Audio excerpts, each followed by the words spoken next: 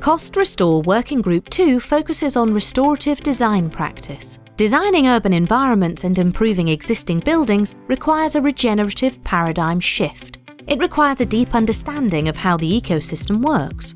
The key is creating cities that are part of nature.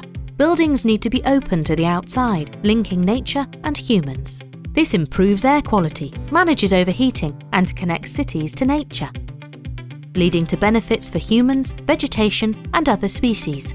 As cities become hotter and more polluted, nature based building forms and facades become important. They can mitigate outdoor temperature extremes and reduce building energy consumption. Building form is usually studied in relation to energy performance, but Working Group 2 showed its important effect on local microclimate. Building form provides outdoor temperature changes of up to 10 degrees, making it an effective solution to achieve climate change resilience. European codes promote building insulation, which leads to indoor spaces overheating.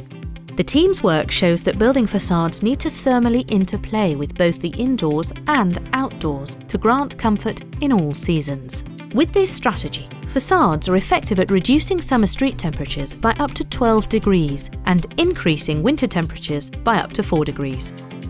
Well thought out solutions will manage temperatures to support life and local ecosystem prosperity despite climate change dynamics.